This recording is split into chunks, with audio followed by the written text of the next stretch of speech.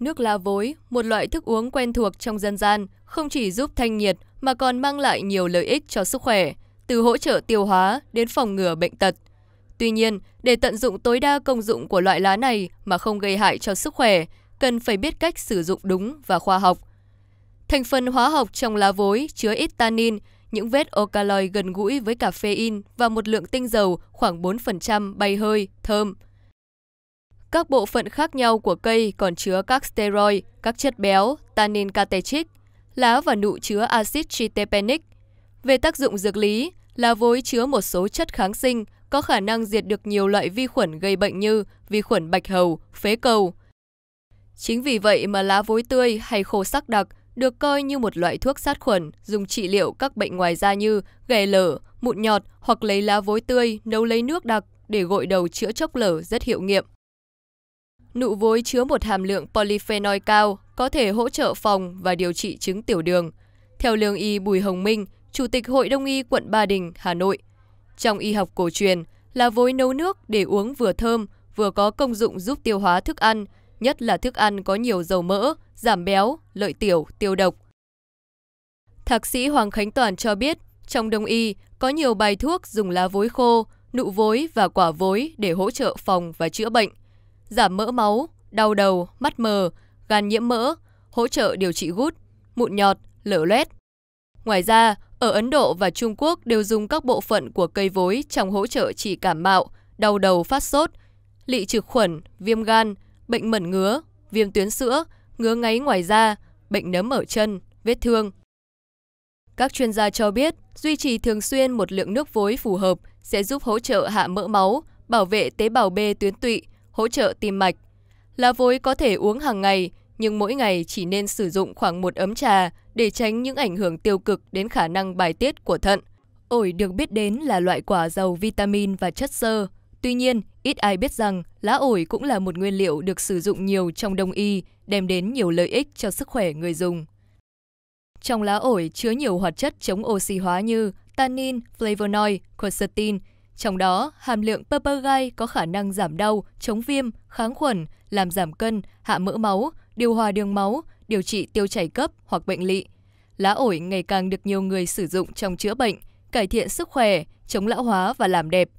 Nước lá ổi có những công dụng tuyệt vời cho sức khỏe sau.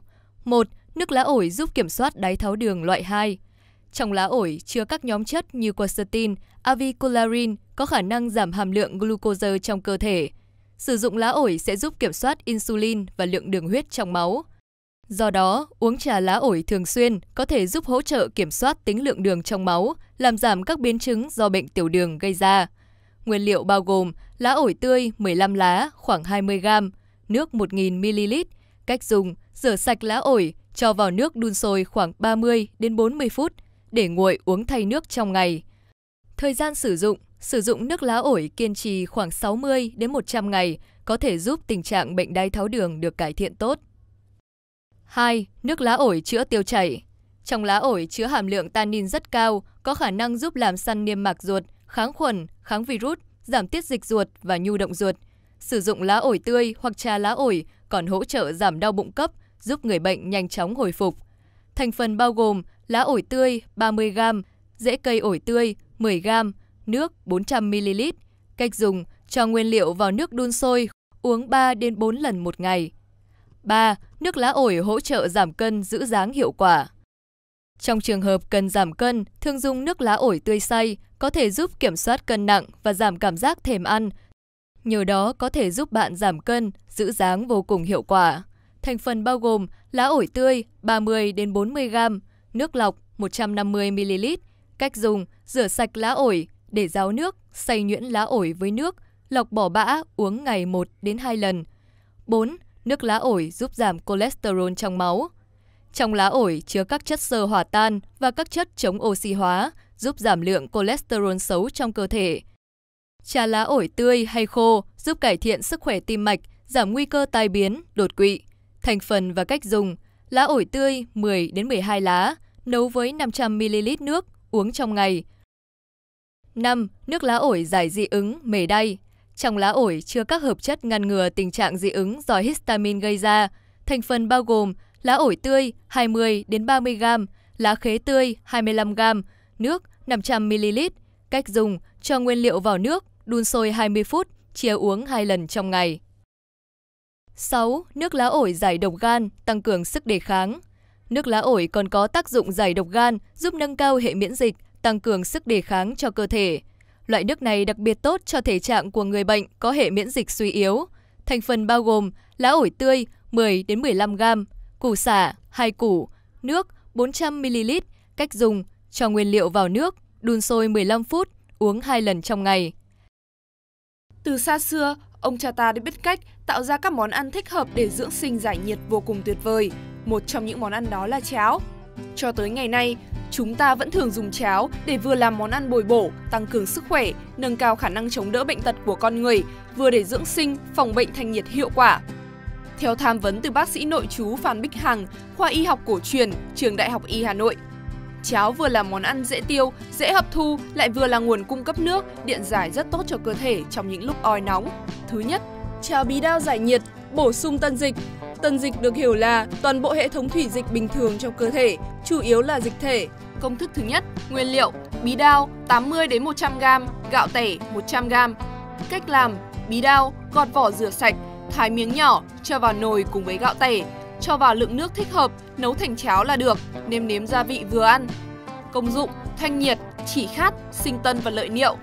Công thức thứ hai, nguyên liệu: 150g gạo tẻ, 80g tôm tươi, 100g bí đao, 1 phần 2 thìa hành tỏi tăm, hành lá, rau mùi tàu vừa đủ. Thứ hai là cháo lá sen. Nguyên liệu: lá sen tươi, một lá nặng khoảng 200g, gạo lứt 100g. Cách làm: vò gạo sạch, cho nước vào nấu cháo. Khi cháo gần chín, lấy lá sen rửa sạch, úp chùm lên chảo, ninh khoảng 15 phút, lấy lá sen ra, cháo có màu xanh nhạt, nấu sôi thêm một lúc là được, nêm nếm cho phù hợp và thưởng thức. Công dụng: giải nhiệt, sinh tân và trị khát. Thứ ba là cháo sơn dược thịt dê bí đao. Nguyên liệu: gạo tẻ, thịt dê mỗi loại 50g, bí đao 150g, sơn dược 100g và gia vị vừa miệng. Cách làm: thịt dê băm nhỏ, bí đao bỏ vỏ, sơn dược thái thành miếng nhỏ. Gạo tẻ cho lượng vừa nước nấu cháo, nấu đến lúc sôi đều, cho thịt dê đã băm, bí đao, sơn dược vào cùng nấu. Đợi sơn dược, bí đao chín nhừ, nêm gia vị vào là được. Công dụng: thanh nhiệt, sinh tân, kiện tỳ vị. Thứ tư là cháo thịt chai. Nguyên liệu: thịt chai 100g, gạo tẻ 50g, 1 phần 2 thìa cà phê hành tỏi, lượng vừa gia vị. Cách làm: rửa sạch thịt chai rồi thái nhỏ, phi thơm hành tỏi. Cho thịt chai vào xào trước, gạo tẻ cho vào nồi với lượng nước thích hợp, cháo sôi thì cho phần thịt chai đã xào vào nấu cùng, nấu cho đến lúc cháo chín nhừ, nêm gia vị phù hợp khẩu vị và thưởng thức. Công dụng: thanh nhiệt và trừ phiền khát. Thứ năm là cháo ngao mồng tơi. Nguyên liệu: ngao sống 300g, mông tơi 50g, 50g gạo tẻ, gia vị, dầu ăn. Cách làm: Bước 1: Ngao ngâm với nước khoảng 2 giờ để thải hết chất bẩn. Bước 2: Rửa thật sạch ngao, cho vào nồi nước đun tới khi ngao há miệng. Bước 3: Gạn nước luộc ngao ra tô, để riêng nhặt ruột ngao. Bước 4: Cho gạo vào nước luộc ngao, nấu thành cháo. Bước 5: Cho mùng tơi và ruột ngao vào nấu sôi khoảng 5 phút.